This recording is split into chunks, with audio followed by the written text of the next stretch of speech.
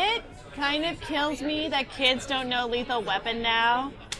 Because Oh my god! because to me, those movies were like that was what everybody in my family could agree on. so I've seen those movies so many times. Roger Murtaugh is my favorite Right. character. Like obviously I have my own issues with Mel Gibson. oh yeah, everyone does. Everyone does.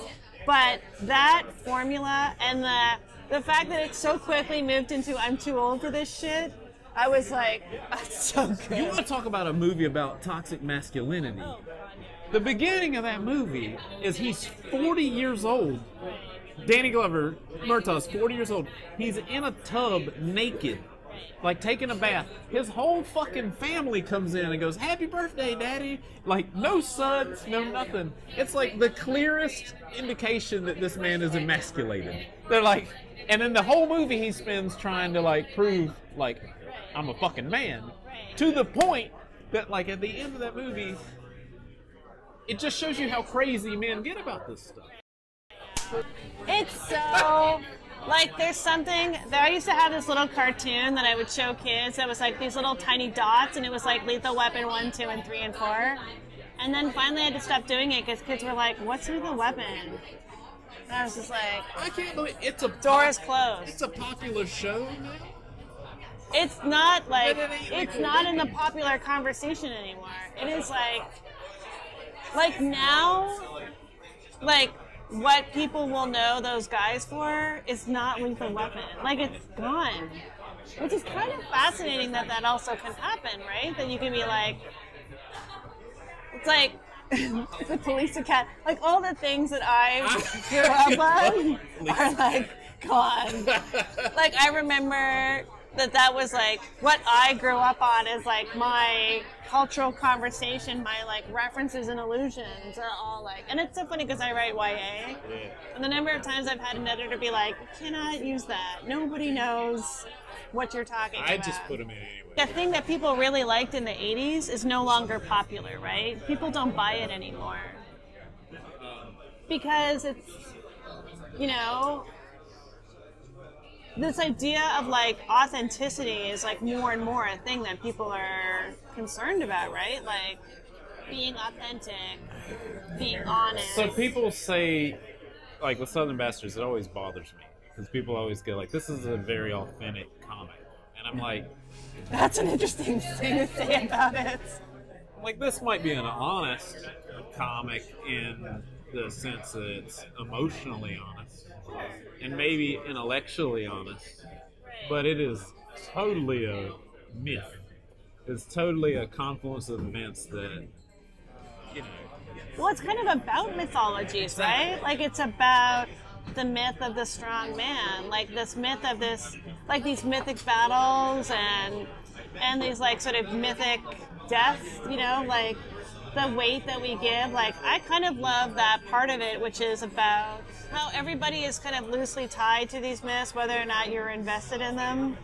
And that it's a myth that has real consequences depending on who you are.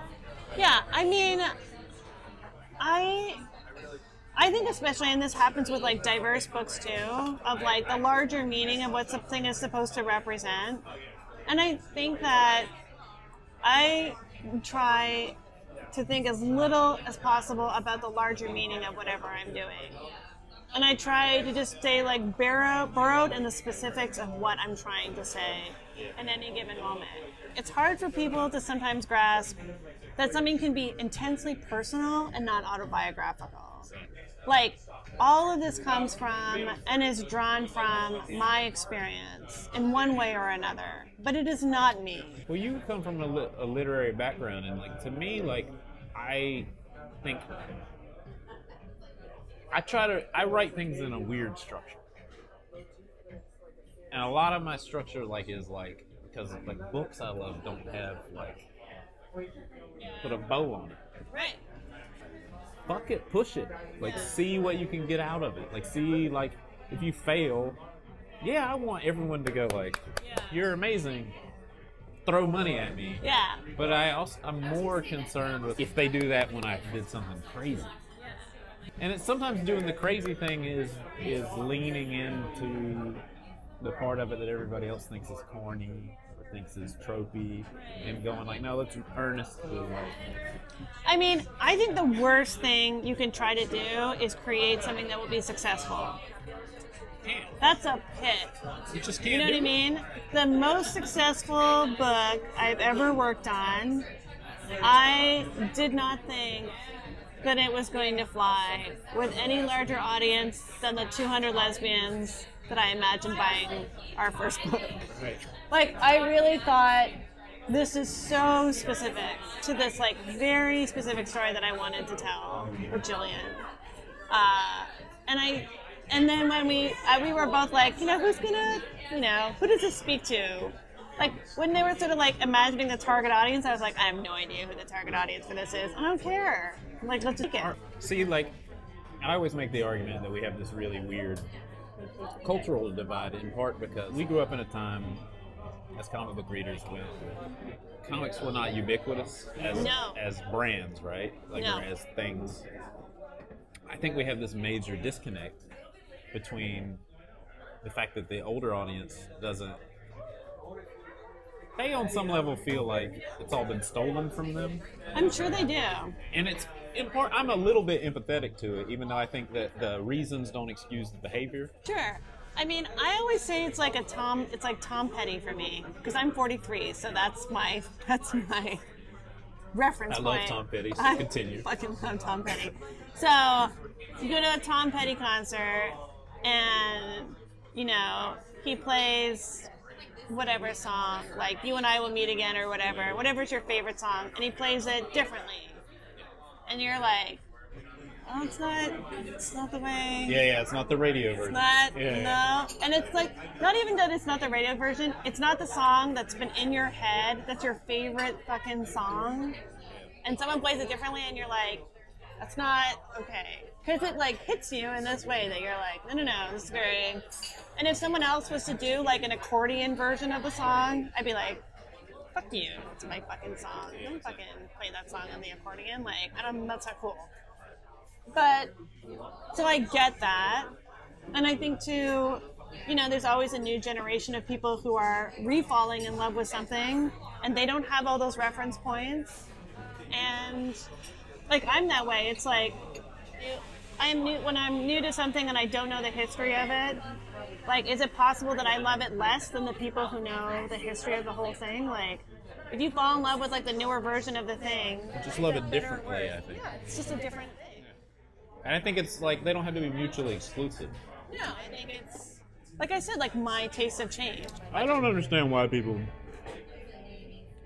who've loved stuff this long can not be excited by new people coming I don't know. I mean, this is like a, the most fucking ulterior motive, fucking straight man guy thing I probably could ever say. But when I was a kid, I was just like, God, please let a girl come to a comic book. Yeah. fucking Police Academy, anything Steven Guttenberg. Oh my gosh. At what point did Tom Hanks? Right. Usurp. I think it was three men and a baby, and Steve Guttenberg was the least interesting of the three men. It was like all of a sudden everybody saw who Steve Guttenberg really was, and they were like, oh. And that like it was that was it.